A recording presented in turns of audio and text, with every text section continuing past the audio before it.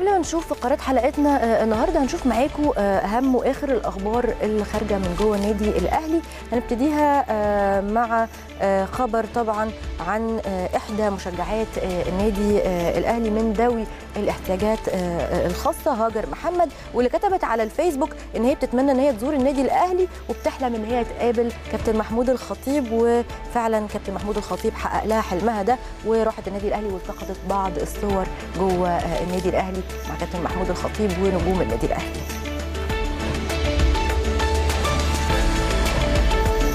كمان اجتمعت لجنة رواد في النادي الأهلي النهارده بفرع مدينة نصر برئاسة فؤاد إسماعيل عشان يناقشوا لائحة النظام الأساسي واللي طرحها مجلس إدارة النادي الأهلي مؤخرا. وهتقدم الورشة تقرير مفصل للجنة آه، المركزية للائحة من آه، النظام الأساسي برئاسة كابتن محمود الخطيب عشان يستفيدوا آه، باللي حصل النهارده من مناقشات وحوارات. آه، أكيد هتعود إن شاء الله بالنفع على النادي وأعضائه.